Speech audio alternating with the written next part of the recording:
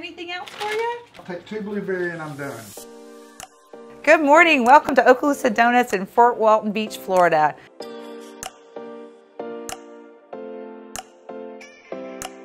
Okaloosa Donuts was started on the beach, just like everything awesome here in this town. We had a concept and met with a friend that owned a donut shop up north, and she said, there's no really good donut shops on Okaloosa Island. And we said, ah, what a great idea.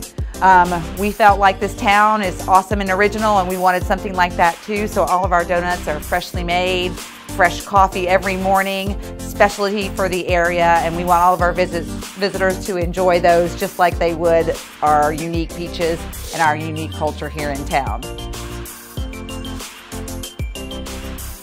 Some of our specialties, we have cookies and cream, we have strawberry bars, we have lemon bars, do triple chocolate, of course, Rocky Road, and then we have all the cake donuts that are old-timey fashion favorites for some of those who are donut connoisseurs.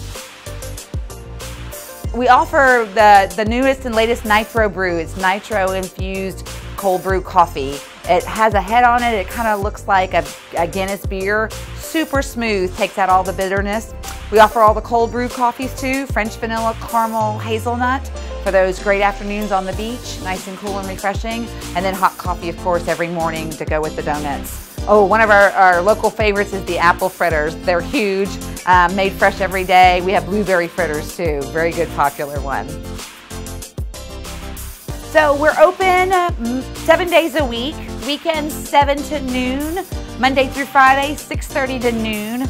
Um, we do special orders and events. We do donut cakes, we do bridal parties, we do um, special shapes and sizes for our custom catering.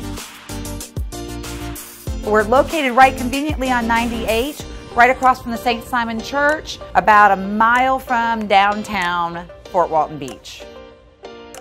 Come see us at Okaloosa Donuts.